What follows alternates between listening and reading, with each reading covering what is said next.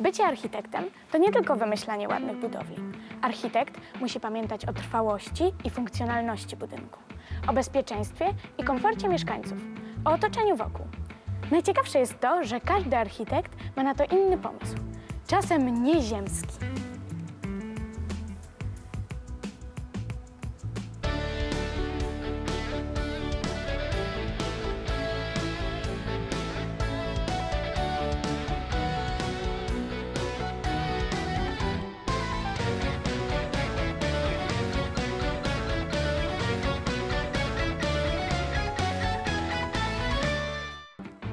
Mój ulubiony budynek? Chyba rzymskie koloseum. Mieścił 50 tysięcy widzów. Odbywały się tam m.in. Igrzyska Olimpijskie i walki gladiatorów. A może Taj Mahal w Indiach? Marmurowe powierzchnie pokryte są tu tysiącem kamieni szlachetnych. A może Muzeum Pompidou w Paryżu? Najciekawsze tu jest to, że instalacje poprowadzone są na zewnątrz budynku. Po co? By sale wystawowe można było swobodnie przekształcać, a ściany przesuwać.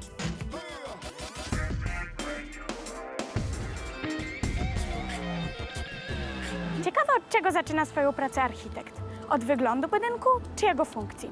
A może jest jeszcze coś ważnego? Odwiedzę dzisiaj pewną pracownię architektoniczną. Wszystkiego się tam dowiem. Konior Studio w Katowicach to pracownia autorska Tomasza Koniora. Jest on twórcą i współautorem ponad 100 projektów i realizacji, za które zdobył kilkadziesiąt nagród w konkursach krajowych i międzynarodowych. A jak wygląda dzień pracy w takiej pracowni? to e, całe mnóstwo różnego typu zdarzeń. Jeździmy na budowy, spotykamy się na naradach, myślimy w podgrupach i zastanawiamy się też często sami nad tym, co chcemy zaproponować e, w projekcie i jakie rozwiązanie byłoby optymalne dla danego projektu, dla detalu, e, jaka propozycja związana z projektem będzie najlepsza. Przygotowujemy się do rozmów z inwestorami, z wykonawcami. E, To jest dzień bardzo, bardzo intensywny. A jaki powinien być dobry architekt? Zaangażowany, twórczy, powinien mieć pasję. Pasja jest e, bardzo ważnym czynnikiem naszej codzienności architektonicznej. Ona pozwala e, nam zmagać się z problemami, z różnymi trudnościami, które w życiu architekta są e, jego częścią i to, że mamy pasję, to pozwala nam mm, pokonywać trudności i nie zbaczać z obranego celu. A jakie są nowoczesne narzędzia pracy architekta? No oczywiście komputery. Dzisiejszy świat bez komputerów e, jest trudny do wyobrażenia. My używamy komputerów na co dzień, używamy oprogramowania, często bardzo skomplikowanego. Ono nam pozwala rozwiązywać e, bardzo skomplikowane zagadnienia techniczne, znajdować formy, kształty, e, których kiedyś nie można było uzyskać bez tak naprawdę wykonywania różnego typu makiet. Makiet też używamy dzisiaj. E, używamy tradycyjnych e, metod, bierzemy często długopis, ołówek, pióro i rysujemy na papierze. Od tego tak naprawdę zaczyna się każdy projekt, od szkicu. W architekturze wyróżnia się style estetyczne, jak w malarstwie. Grecki akropol to starożytna sztuka grecka z charakterystycznymi kolumnami. Gotyckie katedry w średniowieczu były spiczaste i bardzo wysokie. Potem był czas na renesans i harmonijne, uspokojone i uporządkowane kształty. Z kolei barok to dynamiczne, rozbuchane dekoracje, które wyglądają jakby się poruszały. W budowli wszystko musi być przemyślane, nie tylko wygląd.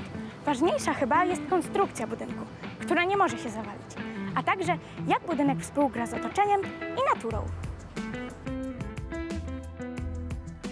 Jednym z ciekawszych projektów Konior Studio jest budynek Narodowej Orkiestry Symfonicznej Polskiego Radia w Katowicach.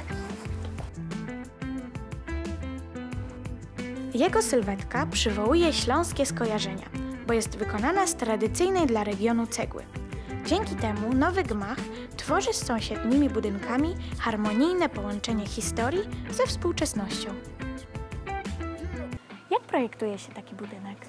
E, Budynki zwykle projektuje się, żeby były wygodne, funkcjonalne, żeby były użyteczne. Budynki dla muzyki projektuje się jeszcze w taki sposób, że muszą brzmieć. I właśnie jesteśmy w takiej przestrzeni, w sali koncertowej, e, w której nie musisz mieć w użyciu głośników, mikrofonów i każdy dźwięk, który dociera na widownię, do któregokolwiek z miejsc, na których jest tutaj 1800, ten dźwięk, który dociera ze strady, jest równie piękny, e, barwny, silny, wyrazisty. E, I używamy do tego bardzo różnych metod i technologii. Oczywiście mnóstwo komputerów, mm, programów komputerowych, ale również modeli. Mm, Ta sala była zbudowana wcześniej, zanim powstała mm, e, w rzeczywistości. Była zrobiona w skali 1 do 10 w postaci modelu, w którym mm, wszystkie elementy akustyczne, ściany, sufity były dokładnie takie same jak tu, tylko 10 razy mniejsze. Było też 1800 fotelików, a na każdym z nich siedziała taka mała laleczka. Wszystko po to, żeby te dźwięki, które dziś tak pięknie się tutaj e, rozchodzą i układają w całość, e, żeby je sprawdzić. A dlaczego taki budynek? Sytuacja, która będzie miała tutaj miejsce w tym budynku, jest spotkaniem. Chcieliśmy, żeby ten budynek był spotkaniem. E, tak naprawdę to są dwa budynki. Jeden w drugim.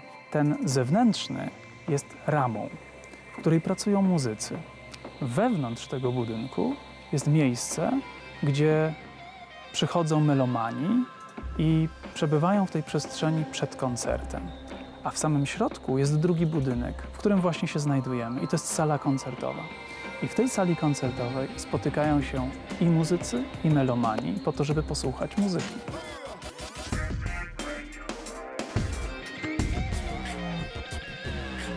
Ministerstwo Kultury wsparło budowę siedziby Narodowej Orkiestry Symfonicznej Polskiego Radia w Katowicach. Wybiera miejsce budowy takich dużych publicznych gmachów i co w tym przypadku było brane pod uwagę przy wyborze miejsca? Z reguły miejsce wskazuje burmistrz albo prezydent miasta, bo to oni wiedzą najlepiej, które tereny można zabudować. W przypadku gmachu siedziby orkiestry zdecydowano się wykorzystać teren, który został po kopalni. On dawał bardzo duże możliwości, bo był na takim płaskowyżu, wyniesieniu, górował lekko nad miastem, a jednocześnie y, nie było w otoczeniu innych starych budynków, do których trzeba by było się dostosowywać. Jesteśmy w nowym budynku Wydziału Konserwacji Akademii Sztuk Pięknych w Warszawie. Czy trudno jest wybudować nowy budynek w starej dzielnicy?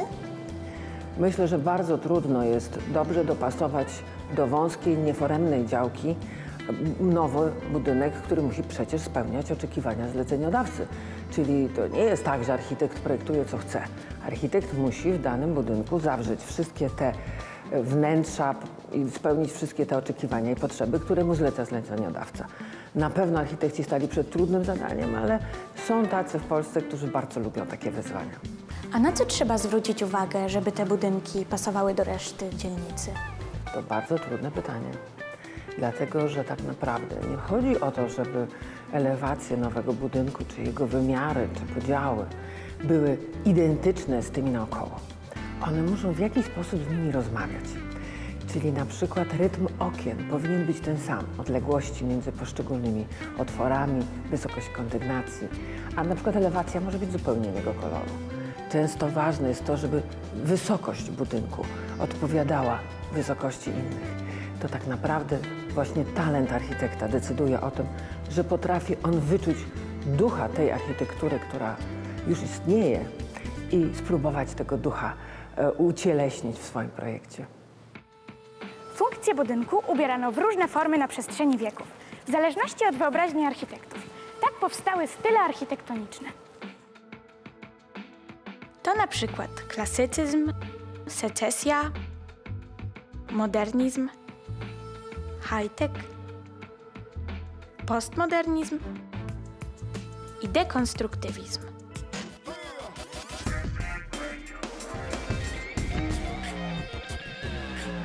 Jak zostaje się architektem? Trzeba, myślę, na początku poczuć sobie potrzebę y, tego, co się potem będzie robiło, czyli potrzebę tworzenia. Odkryć sobie troszkę umiejętności rysunkowych, wyobraźni przestrzennej. No a potem zacząć y, niełatwą i dosyć długą edukację. Pięcioletnie studia architektoniczne to jest jakby podstawa, y, żeby w ogóle zacząć. A później długa praktyka w pracowni architektonicznej, na budowach. A na czym polega praca architekta? W skrócie można powiedzieć, że praca architekta polega na ciągłym poszukiwaniu. Poszukiwaniu pomysłów, odpowiedzi na pytania na każdym y, etapie w zasadzie pracy. Począwszy od ogółu, od sposobu ustawienia budynku na działce, od tego jak ten budynek e, współgra z innymi budynkami w mieście, jak poprawia, mam nadzieję, że zawsze poprawia przestrzeń, a nie psuje ją, aż po te detale y, jak klamka czy balustrada. A nad czym pan pracował przy projekcie budynku Narodowej Orkiestry Symfonicznej Polskiego Radia? No właśnie miałem to szczęście, że pracowałem nad tym najciekawszym, czyli nad salą koncertową. Nad dużą salą koncertową, bo jest też mniejsza w tym budynku. No zaprojektowałem największą salę koncertową w Polsce. Yy, miałem do pomocy fantastycznych yy, akustyków z Japonii i niesamowita frajda i największa przygoda w życiu oczywiście, ten, ten właśnie projekt. Przekształciliśmy jakby w ogóle model sali. Ten podstawowy model z takiego bardzo typowego jeszcze niemalże XIX-wiecznego modelu pudełka na buty, tak się to nazywa śmiesznie. Po prostu prostopadłego pudła, w którym jest sala koncertowa. Przekształciliśmy go w winnicę tak naprawdę, w model winiard używany od lat 60., który polega na tym, że widownia otacza orkiestrę dookoła. Jest rozłożona na takich jakby tarasach, czyli jakby przypomina winnicę w pewnym sensie. E, Ta zmiana była bardzo istotna, bo myślę, że wpłynęła po prostu na, na, na akustykę.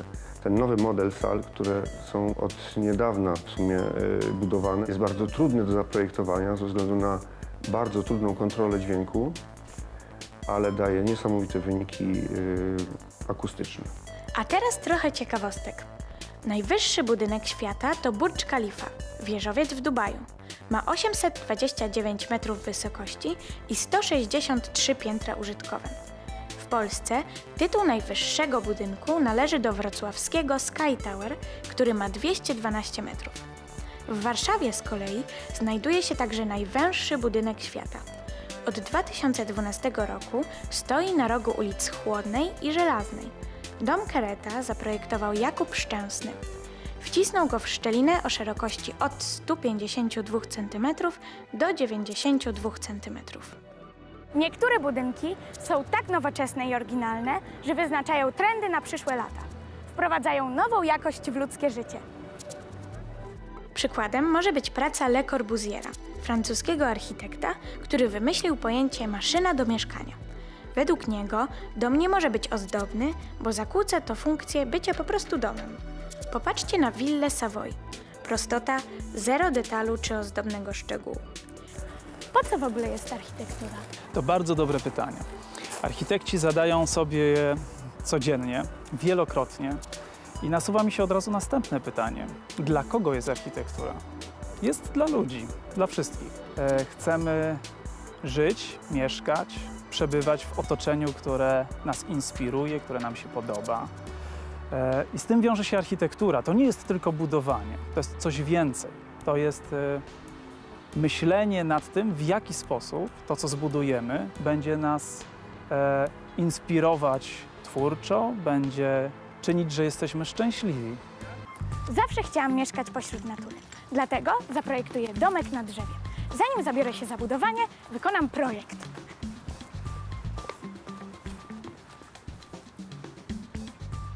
A wy? Jak chcecie mieszkać? Narysujcie to. Może kiedyś powstanie taki budynek.